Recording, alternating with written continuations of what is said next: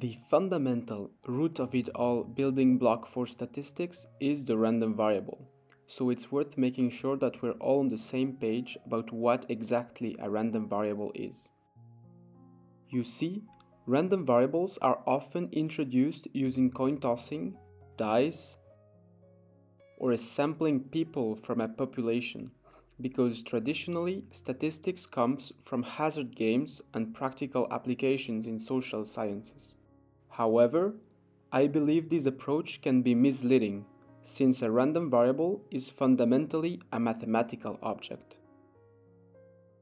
Just like vectors are fundamentally a mathematical concept that is used to describe all kinds of data such as a baby's weight and height or a ball's speed and direction, Random variables are a mathematical concept that can be used to describe the behavior of all kinds of phenomena.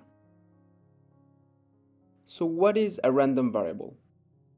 Here's my favorite way of thinking about it. A random variable is simply a circle with an associated name, let's say x. The convention is to use capital letters. What is special about this circle is that some numbers come out from it, for example, dot 21, dot 97, and so on.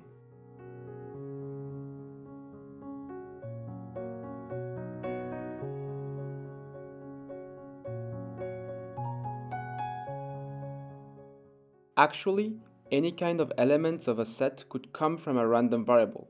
It could be letters, words, colors, or even shapes. But for now, let's just focus on circles that output real numbers. These numbers are called observations. If you think as a mathematician or a problem solver, you may be trying to find a pattern in this series of numbers. Maybe they are like Fibonacci numbers, in which you use previous numbers to build the next. Or maybe there is some crazy formula that allows to obtain them. However, this is not the case, and this random variable could have generated the same numbers in a completely different order, or simply different numbers. The fact is that there is not really a way to say exactly which number will come out from this random variable.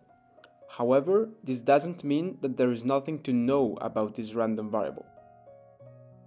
And this is the fundamental and most powerful intuition behind all statistics and probability. Just because you cannot predict exactly something doesn't mean that you can't characterize. In other words, uncertainty can be quantified. So what is there to know about this random variable? Besides the fact that it only generates real numbers and not crazy shapes, you may have noticed that this one in particular doesn't generate negative numbers. It doesn't seem to generate numbers greater than 2 either, but actually this is only because I have only shown you a few numbers. If we let it generate more observations, we will see that sometimes, but not that often, it generates numbers greater than 2, sometimes greater than 3, and so on. So how do we keep track of this how often it generates numbers? You may want to pause the video for a moment and think for yourself. How do you keep track of an infinite population in which the order doesn't matter? How do you characterize this population? The answer that statisticians have found to this question is called a histogram but let's tackle this step by step. A first idea is to keep track of the generated numbers on the real line. We will also keep track of n, the number of observations that the random variable has generated, because it will be important later. On the real line, we can draw a little tick in the place where a number was generated we can just drop the negative numbers because this random variable in particular doesn't generate any. You see that soon enough we will have a bunch of ticks and we can see that most of them are really close to zero. To be more rigorous, we can arbitrarily choose a number epsilon, let's say it's 1, and we can divide the real line into segments or bins of this length. We can then count how many numbers have fallen in each of the bins by drawing a rectangle over it, with its height corresponding to the count. This is called the frequency. As we let n grow more and more, you may see that this approach has an obvious problem, because we will end up with infinitely high rectangles.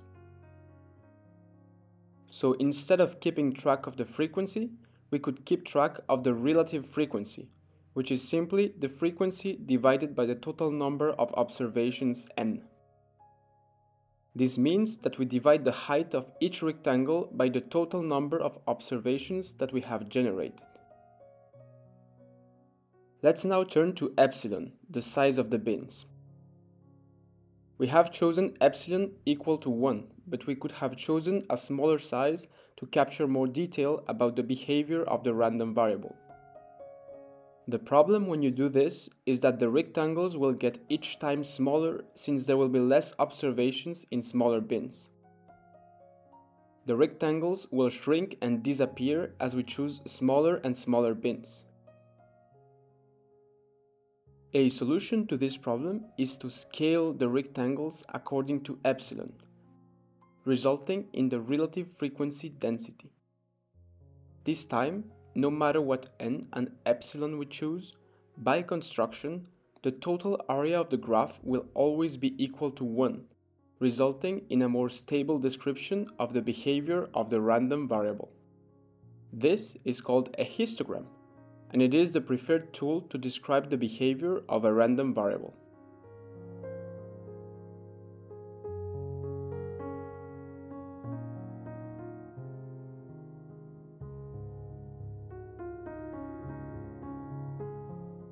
The most complete and precise description of the behavior of the random variable is when we have a larger number of observations and very small bins.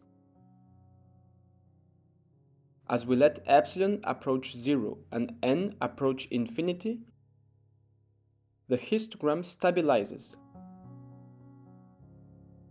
and gets arbitrarily close to a curve.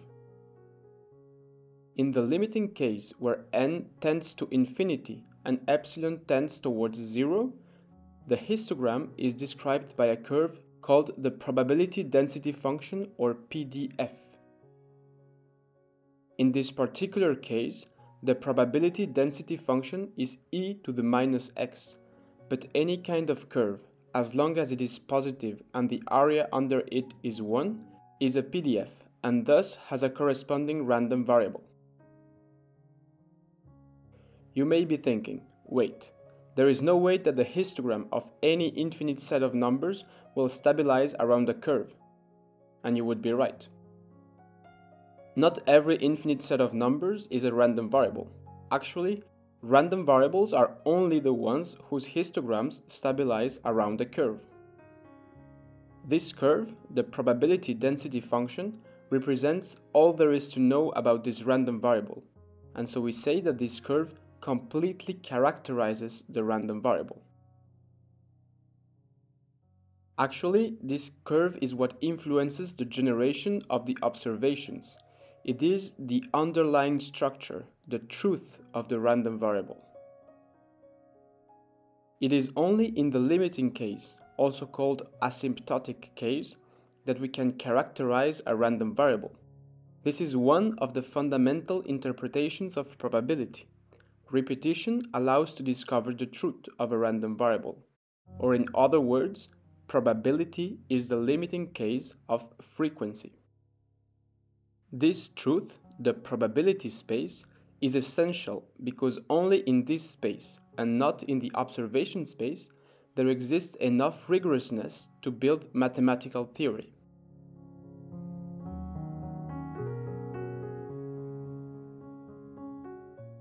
Let's summarize what we have learned until now. The fundamental intuition of statistics is that uncertainty can be quantified.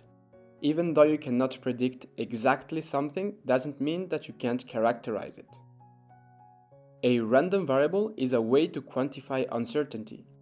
It is represented by a circle and a name, and it encodes the relationship between a truth and its observations.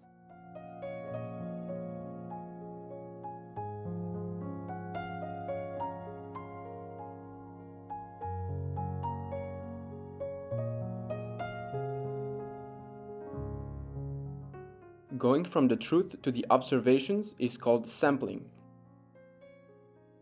The underlying structure of a random variable, its truth, is encoded in its probability density function.